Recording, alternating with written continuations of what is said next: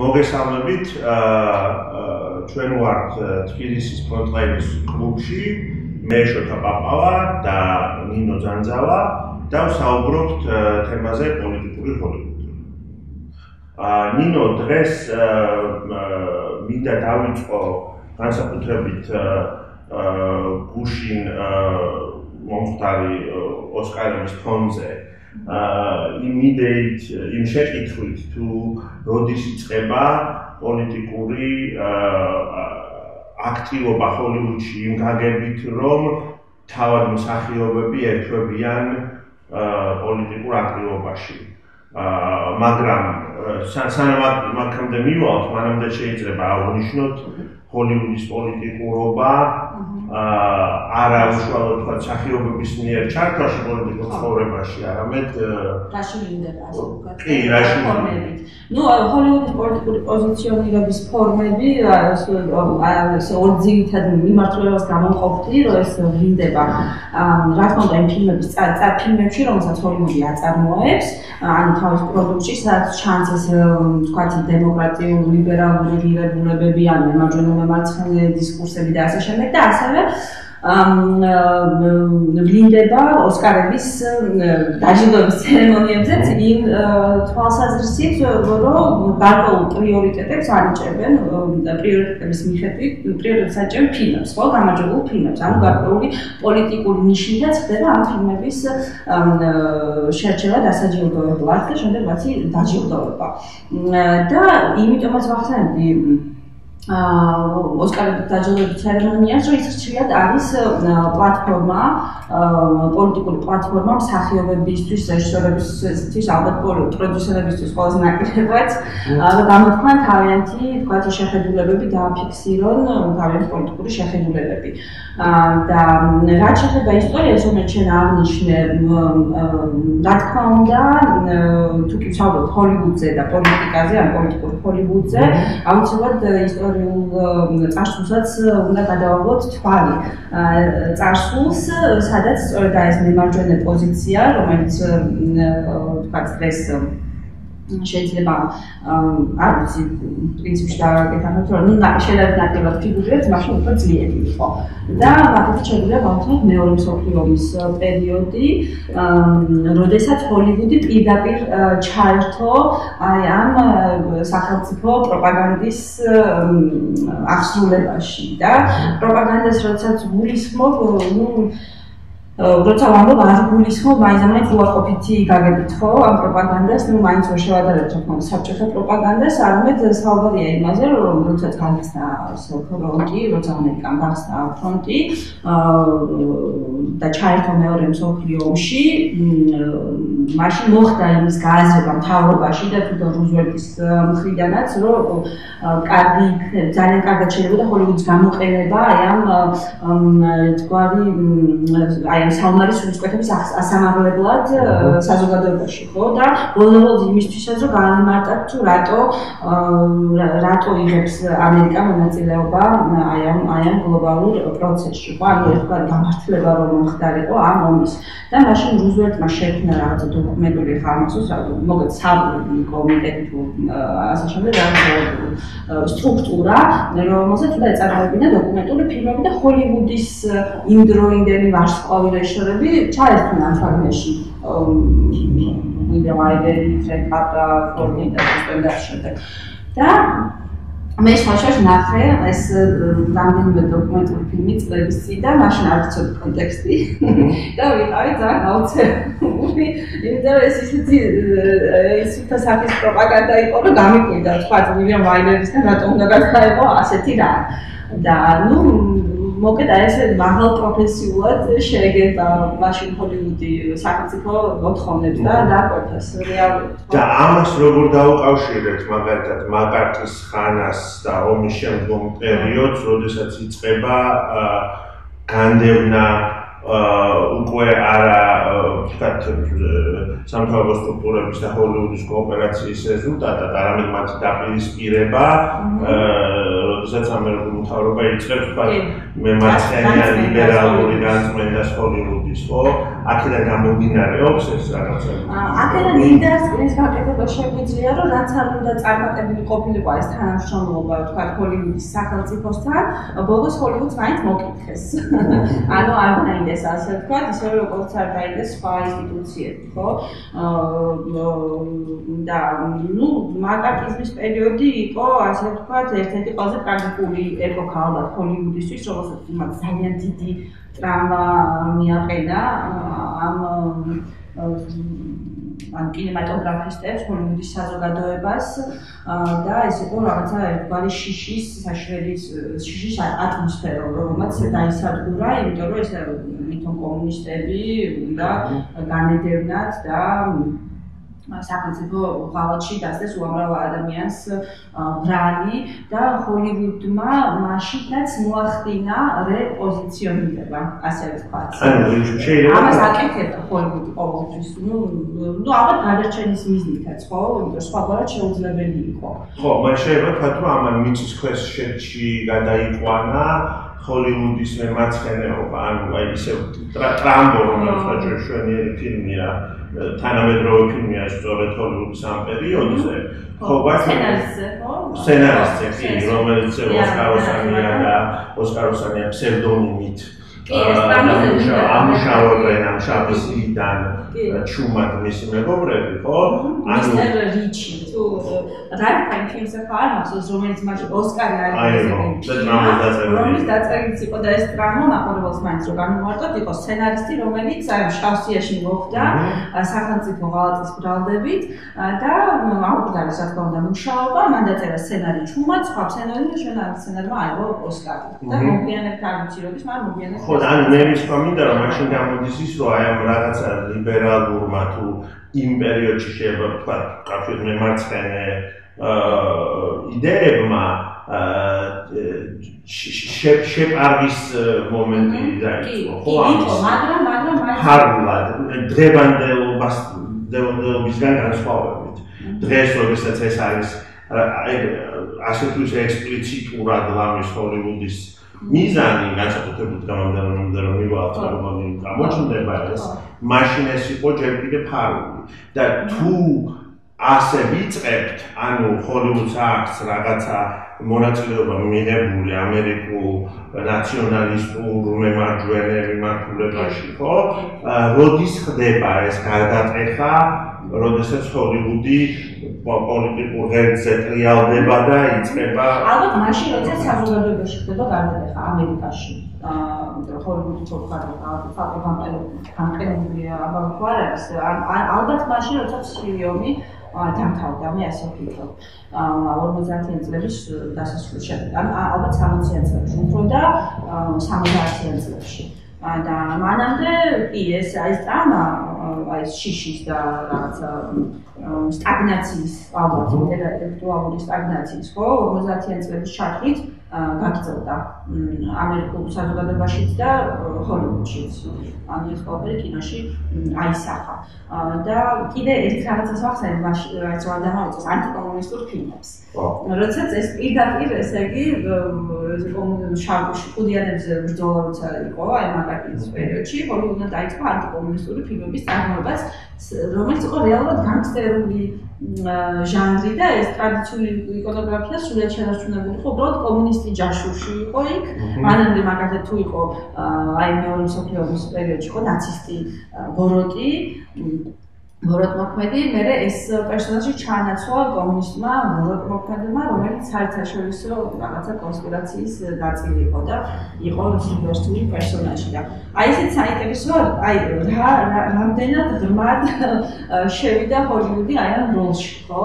და მე უკვე დაიწყო ნელა ამაზე რეფლექსია და ცენს უარყოფა კრიტიკული ხედვა, ხო, 70-იან წლებში ალბათ და მოდი ახლა მაშინ გავუსწრებთ აი ეს იქნებ შენ თქვა, თქვა ვიეტნამის პერიოდი და 70-იან წლები, როცა აი ფრანდოს ოსკარებზე. უარყოფა. კი, იმიტომ რომ თუ ამერიკა გაერთიანებული იყო მეორე მსოფლიო ომის პერიოდში და შემდგომ რაღაცა რეალური და ასევე წარმოსახვით ის წინააღმდეგ და აქედან გამომდინარე თქვა შესაძლებელი იყო რომ ეწარმოებინათ ისეთი ფილმები როგორც შენ ახსენე, ვიეტნამის 60-იანებიდან იწყება გარკვეული დაყოფა ამერიკული საზოგადოების ძალიან კაფეო აა მიჯიმაზე ხო ძალიან კაფე ორ ნაწილად მაგალითად ვიეტნამის ომის მოწინააღმდეგეები და უკრაინულად ორიენტირებული ნაწილი საზოგადოების მარლონ ბრანდოსაც შემოაქვს უკვე არა გარემლებთან თქვათ ურთიერთობის პრობლემატიკა არამედ შიდა პოლიტიკა ქვეყნის, ხო და 63 წელს თუ არ მეშლება ნაცი მამაროდის გამოვიდა. 63 წელს. 63 წელია, ანუ ნაცი მამაში მოგებული, მოგებულ ოსკარზე ბრანდო ამბობს უარს, რაც არის აბსოლუტური შოკი მაშინდელი პირველი პრეცედენტი. პირველი პრეცედენტი ესეთი აქტი, ესეთი პოლიტიკური აქტი არ გაუკეთებია არავის და სცენაზე აყავს ამერიკელი ინდიელი ქალი, რომელიც მისი სახელით, ესე იგი, აცხადებს, რომ ალონ ბანდო უარს ამბობს მის ოსკარზე გამომდინარე ამერიკის მთავრობის ჩაგვიდან აპროტესტებს ამერიკის თავის ჩაგვას? და ჰოლივუდისაც და კი და ჰოლივუდის რეპრეზენტაცია ინდიელების კი ძალიან მნიშვნელოვანი მომენტია ეს იმიტომ რომ როგორ რეპრეზენტაციას უკეთებ ჩვენ ინდიელებს ეს არის პრობლემა. და იყო მართლა პრეცედენტი მაგრამ მაგრამ ძალიან ეხა გამოცედა რომ ბრანდო იყო ის ადამიანი რომელიც თამაშობდა ელია კაზანის ფილმში პორტში რომელიც იყო ოდა რომელიც კაზანმა მიუძღვნა დასმენებს ანუ ესეც იყო ეს ცივიომის პერიოდში. ანუ ბრანდი თამაშობს ახალგაზრდას, რომელმაც დაასმინა მაყურებლისთვის ამბობ, აა დაასმინა ეს კორუმპირებული პროფკავშირები და ესე იგი იყო მაგარი ტიპი. ანუ თემ ფილმი მიდის მზადება პერსონაჟის იმისკენ, რომ ეს მან გააკეთოს ხოლმე. შეიძლება საყვარელი ამერიკული ფილმი. ეხლა მაგაზე მაგალითად ის კაზანთან სამშობლო. მაგრამ რა თქმა უნდა ეს მნიშვნელოვანია, რაც გააკეთა ცხადია, იყო პირველი. კი, და გვიანდელი ბრანდო უფრო პოლიტიკური ხდება, თუმცა მაგ პერიოდში აღიქმება როგორც აბსოლუტურ ანომალიად. ხო, ანუ ეს ბრანდო გარეკა და აი როგორ ხო, მაგრამ ამის მერე უბრალოდ ეხა თითოზე რო არ შევჩერდეთ და ბევრი რო არ დავხარჯოთ, ჩამოთმა მინდა უბრალოდ აი ამ უკვე ისეთი პროტესტის გამოხატვისა, რომელიც არა თქვა ფილმებშია შეყარული, ან ფილმებში ექსპლიციტურად გამოხატული. არამედ როდესაც თვითონ მსახიობები ექვებიან პოლიტიკურ ცხოვრებაში და ხმარობენ აი ამ ჯილდოების პლატფორმას, ოსკარების, გოლდენ გლოუბების და სხვა ჯილდოების პლატფორმას, როგორც პოლიტიკური აზრების გამოხატვის და პოლიტიკური ბრძოლის ველს, ხო? ასეთი იყო მაგალითად მაიკლ მურის გამოსვლა 2003 წელს, როდესაც მან გააკრიტიკა ბუშის პოლიტიკა ერაყში და აქ აღნიშნავთ იმას, რომ თუ უყურებთ ამ კლიპს, რომელიც YouTube-ზე დევს, აა ნახავთ, რომ 2003 წელს უმეტესობა მაყურებლების, ანუ ვინც ის დარბაში დამსვეთა უმეტესობა უყვირის ნეგატიურად. ბუს უყვირის და არ აღიქავს ამას როგორც მისაღებ საქციელს. რაც არის ძალიან ხშირად იმის გამოხატულება, იმ არგუმენტის გამოხატულება, რომელიც დღეს ყველაზე ხშირად ისმის მარჯვენა პოლიტიკური ველიდან, რომ სახიობის ხელოვანი საქმე არ არის პოლიტიკური აქტივობა. ხო, აი ამაზე როგორი პასუხი აქვს? ხო, კიდე კიდე ერთი ორი რომ მივაყო, ხო, აი ჯონ ჯონ ლეჯენდი და კომონი ჯონ ლეჯენდი ორი მომღერალი, ხო, ჯონ ჯონ ლეჯენდი და კომონი რომელიც გამოვიდნენ აა აა სელმას სიმღერა რომელიც სელმაში იყო, ხო, ფილმი რომელიც არ არ გაიმარჯვა მაშინ და ესეთი პრობლემა იყო, რომ შავკანიანთა გლობო ხდებოდა აა სიტყვით გამოვიდნენ და რაღაც სუზან სარენდონი და ვარენსა რედგრეივი გამოდიოდნენ და სხვა და სხვა მიმართულებებით და პოლიტიკაზე რაღაც ისრაელთან მიმართებაში, ო, მიგრანტებთან მიმართებაში სხვადასხვა პოლიტიკური მით აკრიტიკებდნენ ამერიკულ თავრობას და აი 2003 წელს მაიკლ მურის გამოშვისას ჯერ კიდე იყო ესეთი რეაქცია, რომელიც რაც ეხა ნორმაა. რაც ეხა ნორმაა, ოღონდ ნორმა არა თავად შიგნით ჰოლივუდში, არამედ ასევე დაყოფილ ამერიკაში, ხო, მარჯვნივ, რომ არ უნდა ჩაერთოს სახეობი პოლიტიკურ ცხოვრებაში და აი ამაზე რა პასუხი აქვს იმ სახეობებს და იმ პოლიტიკურად აქტიურ აგენტებს ჰოლივუდისა, რომლებიც ერთობიან პოლიტიკაში. რა რა გამართლება აქვს, ამასთან სერიოზულად გასათვალისწინებელი აზრი არის ამაში, რომ სახეობი ჩუმად უნდა იყოს. ხო, ანუ მე მეკითხე. ხო, ანუ მეკითხე. ხო, არა, რა თქმა უნდა, რა თქმა უნდა, ჩვენ ალბათ იმ ადამიანებს ვერგუտնებით, რომლებიც ცვლიან, რომ სახელმა აუცილებლად უნდა გამოიყენოს ეს პოლიტიკური პლატფორმები, რომ რაღაცა ზეგავლენა მოახდინოს ფორმირებაზე აზრის ქვეყანაში, რაც ალბათ თავისთავად უტოპისტური რაღაც შეხედულება, მაგრამ ჩვენ მაინც ასე ვფიქრობთ, რომ კი, რა თქმა უნდა, ეს გარკვეულწილად მაინც ახდენს რაღაც აუდიტორიაზე. მუშაობ ყოველ შემთხვევაში აღიზიანებს მაინც.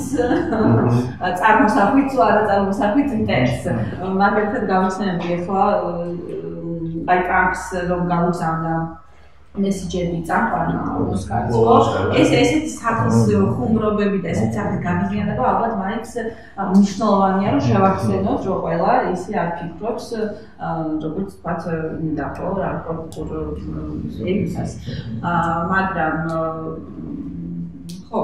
ხო ნუ მე მე ცა ამაზე ხმობა გვაქვს ამიტომ უნდა შევხედებით თან უბრალოდ მე დავამატებ იმას რომ არ არსებობს პროფესია მათ შორის ხელოვანის რომელსაც წართული უფლებას მოქალაქეობისა ო ანუ რომ გამომდინარე შენი პროფესიიდან შენი მოქალაქ მოქალაქის ვალდებულება რომელსაც შენ გზნობ და შენი პოლიტიკური სხეული რომელიც შენ ასევე გაქვს ხო და რომლის საერთოდ განშორება რამდენად შესაძლებელია შენი ხელოვნებიდან კიდე ცალკე საკითხია რეალურად მე მგონი არა აა რო უთხრა რომ რადგან შენ ეს პროფესია გაქვს უნდა გაჩვიდე. ამაზე მე მგონი თაფლები თუ ეს მიუღებელი გონი მაგრამ მინდა გახშირდა ეს ყველაფერი რომ არ ვიცი ახლა ეს სახელი ანუ საიტი ჰოლივუდში არის თუ არა შესაძლებელი რომ რაღაცა ფარისოობასთან ზოგჯერ გქონდეს საქმე. კი, აი და ამითი მოდი შევეხოთ უკანასკნელ ოსკარებს, რომლებიც რომლებიც რეზულტატი ჩვენ უკვე ვიცით და ვიცით ვინ გაიმარჯვა და რა მოხდა. აა იმიტომ რომ სწორედ აი ისეთი გამოსვლებიდან როგორც იყო ამ ოსკარებზე ერთი სიმღერა შესაძლოა რომ აბსოლუტურად ის პრობლემა თაგიქვა ეს როგორც პოლიტიკური წინააღმდეგობა იმ თქვა ქსენოფობიის, ნაციონალიზმის, ხო, განზრახებული ბოროტი ნაციონალიზმის, რასიზმის, მისოგენიის წინააღმდეგ, რომელიც განსახიერებაც არის ტრამპის ადმინისტრაცია და მისი მმართველობა, მაგრამ მეორე მხრივ იო რამდენად იორი ასე მარტივად ამის დაყოფა რომ ერთხარეს არის რაღაცა თეთრი გმირი ხო ჰოლივუდი რომელიც უპირისპირდება ტრამპს აი ამის გარჩევაზე მოდი ვისაუბროთ და მე აქ პირველ რიგში ვახსენებ იმას რაც მოხდა ოსკარებამდე რაც და რაც იყო მერესტრიპის გამოსვლა გლობუსებზე. ხო? სადაც მან მკაფიოდ გააჟღერა ეს აზრი, რომ ჩვენ ვართ განსხვავებულები, რომ ჰოლივუდია განსხვავებულთა ერთობა და ჩვენ გვევალება მასთან დაპირისპირება და ამან გამოიწვია ზოგადად საზოგადოებაში აბსოლუტური აღთხოვანება. კი, მაგრამ ეს რეალურად ხო ასე არ არის. ანუ მერილ სტრიპი მერილაპარაკებს ჰოლივუდის სახელით, მერილაპარაკებს მელ გიბსონის სახელით, რომელიც მისი სიტყვის წარმოთქმისას მას ძალიან ირონიულადაც კი ეს კი არა, საკმაოდ დოროთ უყურებს, იმიტომ რომ ჰოლივუდი მელ გიბსონიცაა. ხო, მელ გიბსონის ფილმიც იყო წარდგენილი დაჯილდოებაზე, მან ხო არ გაიმართა. და ორი წლის წინ ამერიკან სნაიპერიც იყო წარდგენილი. გენილი მის ფილმი და ქვია კლინტიშპურტიც ხო რომელიც აფიოდ მისი პოლიტიკაც მემარჯვენეა და ეს ფილმი შეგვიძლია ამ ვთქვათ როგორც ომის თუმცა პრობლემურად ასახავს ასევე ომს მაგრამ ასევე მემარჯვენე ფილმად მარტივად შეგვიძლია წავიდეთ კი რა თქმა უნდა კი ხო და აი რა ჭირდა მაშინ? რა რა პრობლემა აქვს მე ეს ტიპის გამოსვლას? იმიტომ მე ეს ტიპის გამოსვლა მნიშვნელოვანია გლობუსებზე გამოსვლა მნიშვნელოვანია იმდენად რამდენადაც მე მგონია აი ეხლა ამ უკანასკნელ ოსკარებზე მე ეს ტიპის ფეხზე წამოყენება და მისთვის ტაშის დაკვრა იყო განმეორება ჰოლივუდის მიმერ ჰოლივუდის აი ამ ანტიტრამპისტული ხო არის იმიტომ რომ მე ტრამპმა ხოლმე დატვიტა რამოდენიმეჯერ რობერტ მერილს ტრიზე და ეხლა აქ შენ შეუტყვე მერილს აი ჩვენ მერილს ისევ შენ გიპირისპირებ რომ მაგრამ მაგრამ მე მაინც ვიტყოდი ნიუ-იორკის ესეც რეცენზენტის სტატია წავკითხა ოსკარზე რომ აი ეს დაძაბულია.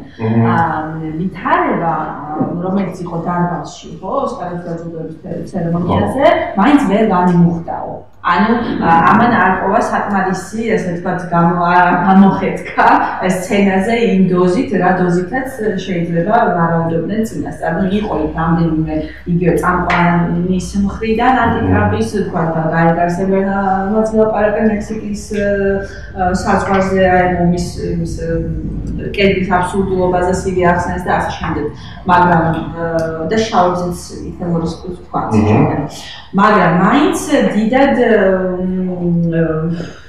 როგორ თქვა, ან შენ დაგაკმაყოფილა იმან თუ მეტი მეტი ვიდეოდი რა ციძლიერით აი ან უარყოფითი განწყობის და ანტიტრანსის განწყობის დაფიქსირებას. იცი რა, მე მგონია რომ გამომდინარე იმ ფორმატიდან და იმ პრივილეგირებულობიდან, რომლის განსახიერებაც არის თანამედროვე ჰოლივუდი, ჩემთვის შეუძლებელია, რომ მათმა დაპირისპირებმა და დაპირისპირებამ ტრამპთან აა რომელსაც თქვა იდეოლოგიურად მე შეიძლება დაუპირისპირდე, დამაკმაყოფილოს. ან მიიღოს რომ უფრო ხულიგნური ან მიიღოს უფრო ხულიგნური აი მე მაგალითად რას ვიზამდი იცი? ხო იმიტომ მაინც ელიტარულია და მაინც ამ თავის პრივილეგირებულობას ვერ იაზრებს ბოლომდე ხო? და მაინც ხდება იმის წარმოება რომ აი ამ დაპირისპირებაში ჰოლივუდი აწარმოებს გარკვეულ ელიტარულ წრეს გარკვეულ ჩვენს ხო? ანუ ვინ ვარ ვინ არიან ისინი და ვინ ვარ ჩვენ რომელიც საშინლად ექსკლუზიური რჩება, მაინც საშინლად პრივილეგირებული. და კონსერვატიული. რაღაცა გაგება. მე მაინც აქეთკენ შენთან ვარ აბსოლუტურად, იმიტომ რომ ბერნარი ვახსენე, ხო? აა ბერნარი გამოდის და ამბობს, რომ მეც ემიგრანტი მუშავარო. რაც რაც ჩემთვის მიუღებ სასაცილო იყო ჯერ და მე რომ დავფიქრდი მიუღებელი იყო აბსოლუტურად. იმიტომ რომ მას შეუძლებელია მან გაიგიოს მას არის თავი რამდენს უხდია თქვა მის აი მიგრანტ კი რომელიც მანდარინებს კრიფა ხო ხო? და ბერნალი რომელიც გადმოდის სხვა ქვეყნიდან შემოდის ამერიკაში იმისთვის რომ აიღოს მილიონი ფულის მილიონი კინოს გადაღებაში. მაგრამ მე რას დაუპირისპირებდი წენოს რამ რამ დამაკმაყოფილა რომ ეს იდეა რა შემოვიტანე იყო რაღაცა რაღაც მე დამაკმაყოფილა ამ იმაში. ოღონდ ეს არის ოსკარების ფარგლებში. აა რობერტ დენიროს გამოსვლა ტრამპის წინააღმდეგ გახსოვს, რომელიც ადგილობრივად არ იყო ოსკარების სანავე ჯილდოს ნაწილი? არ ყოფილა, ხო, ანუ როგორც დამოუკიდებელი აქტი. როგორც დამოუკიდებელი აქტი, მაგრამ მაინც მსახიობისა, ხო, რომელიც ლაპარაკობს როგორც მოქალაქე, და არა როგორც მსახიობი იმ მომენტში, ეს იყო გამოსვლა, სადაც მან უხანსო სიტყვებით, ხო, პირდაპირ დაგებით აგინა ტრამპს და უწოდა მას იდიოტი და ღორი, ეს ორი სიტყვა მახსოვს იმ გამოსულ სულელი. კიდე კიდე იdiot კიდე რაღაცები იყო მან ისეთი. და ისაუბრა მახსოვს ნიუ-იორკის პოზიციიდან ქალაქის. ქალაქის ქალაქი ნიუ-იორკის პოზიციიდან რომ რას ნიშნავს ნიუ-იორკი და ვინ არის ტრამპი და როგორ არ შეესაბამება ეს იმას რაც არის ნიუ-იორკი და ნიუ-იორკი გითulis ასე ვთქვათ გინებას. ხო? და აი მე მომწონს რომ ამას რო უყურე ისე მომიხანე გული აა იმიტომ რომ აქ არის ყო არანაირი აღმატებული პოზიციიდან საუბარი მიმართვა. ასე ნიუ-იორკის სახელმწიფო იყო თქვა საუბარი და არა რომელიმე რაღაცა სამხრეთული შტატის რომელიმე კი ანუ ნიუ-იორკის ერწარი იყო და საუბარი რომ ეს რაღაცა პრივილეგირებულობა ამით მაინც ჩანდა ხო. თუმცა გეთახმები რომ რა თქმა უნდა სამოქალაქო პოზიციას აქვს დიდესი მნიშვნელობა რომ დააფიქსირონ სახელმწიფოს და ხო, მაგრამ აი აი ნიუ-იორკის პერსპექტივას დაუპირისპირებდი ჰოლივუდის პერსპექტივას, როგორც ხო, როგორც როგორც ამერიკის ორ ელიტარულ სივრცეს, რომელიც ორივე აწარმოებს კულტურულ პროდუქტებს, ხო? ერთიც და მეორეც. ნიუ-იორკში თეატრი უფრო, მაგრამ რა თქმა უნდა, სატელევიზიო და კინოს ცენტრიც არის ნიუ-იორკი, ხო, მართლა ესე გეოგრაფიულად პრიორიტეტული ჰოლივუდში არ არის. მაგრამ და ესეც ესეც ექსკლუზიური და პრივილეგირებული სივრცეა რაღაცა მომენტში ნიუ-იორკი. მაგრამ უფრო დამოუკიდებელი. მაგრამ უფრო დამოუკიდებელი, უფრო ღია, უფრო ინკლუზიური, რომელსაც დაუპირისპირებდი მე ამ აღმა წარმატებულ პოზიციას ჰოლივუდისა, წარმოსახვით და გეოგრაფიულ ჰოლივუდისა.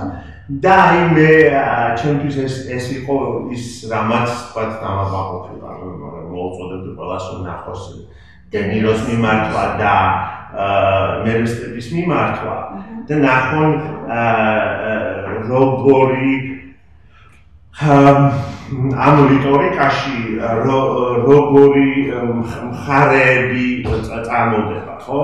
ვინ აღარ ჩვენ და ვინ არის ვინ არიან ისინი? მენუსტრიფთან და და და მაინც მოიწონს ვიტყოდი რომ მაინც მნიშვნელოვანია ხმა ხმის მიწოდება როგორც აიმერიკა როგორც იუციდან და პოდიუმიდან ასე ვთქვათ ჰოლივუდის ასევე დენიროს მეორე სპიჩიც არსებობს ხო ქუჩაში ჩაწერილი აქციიდან. ისევე როგორც ვთქვათ მნიშვნელოვანია ეს ქუჩის ფენიდან მის მიწოდება. კი, ანუ დენირო გადის ქუჩაში სწორედ ისე როგორც მოხალხე, რომლის უკანა თქმა უნდა დიდი წონა მისი სამსახიობო აა და გამომდინარე, ხო?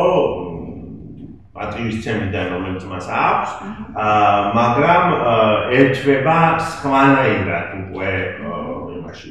აა სანამ დავასრულებთ ერთი რაღაცით მინდა რომ კი კი ერთი რაღაცით მინდა რომ ერთ რაღაცას მინდა რომ კიდე შევხვდე მანაკავით აა ეს ერთ რაღაცას მინდა კიდე შევხვდე რამდენად შესაძლებელია შენი აზრით წაკითხვა გამარჯვებული ამ წლის გამარჯვებული ფილმის წაკითხვა როგორც პოლიტიკურად ო აი ამ დავეცეს კითხვა. ალბათ კი, ალბათ გარკვეულწილად ყოველ შემთხვევაში ახლა ირანული ფილმისთვის წლის საუკეთესო უცხოან კატეგორიაში ოსკარის მინიჭება ჩემი აზრით იყო გარკვეული პოლიტიკური აქტი და ეს იმითაც დადასტურდა, რომ ბოიკოტი გამოუცხადა რეჟისორმა ირანული ფილმის ოსკარებს ალბათ ირან და რამდენიც ტრამპს ხო და ამერიკას და ხო ანუ იმარჯვებს ის ფილმი რომელსაც გამოცხადებული აქვს ბოიკოტი ტრამპის ბოიკოტზე ხო საუკეთესო საერთაშორისო ფილმში და იმარჯვებს ფილმი ხო? რომელიც ბევრ ანუ ისეთ სტიგმის შემსველი თქვა გეი შავკანიანი აი ერთობის წარწ ეკრანი ან იმ ფენის შესახებ ფილმი, რომელიც ასე ვთქვათ მარგინალიზებულია. და რომელიც ჰოლივუდი პირდება, რომ მისი გასაკეთე, რომელშიც აისახება ამ მარგინალი ადამიანების ცხოვრება დღესაც და მომავალში. ანუ არის საზოგადოებაში ადგილი თქვენთვის, მიუხედავად იმისა, რას ამბობს ტრამპი. მაგრამ პრობლემა მე მგონი მაინც საბოლოო ჯამში რჩება და პრობლემა ეხება იმას თუ რამდენად რეალურია ის საზოგადოება რომლის სურათსაც და რომლის სარკედაც თავს წარმოიდგენს ჰოლივუდი ხო თუ ეს რეალ ანუ არის თუ არა რეალური საზოგადოება, რომლის სარკეც არის ჰოლივუდი, რაც სარკის იდეაში გამოიხატება, რომ სადღაც არის რეალობა და მე მას უბრალოდ ავსახავ, თუ ის საზოგადოება, რომელსაც ვითომ ასახავს ჰოლივუდი, ასევე წარმოსახვისია და ამერიკაში ის რეალურად დღეს არ არსებობს. აი ამ შეკითხვაზე შეკითხვით დავასრულოთ. კარგი.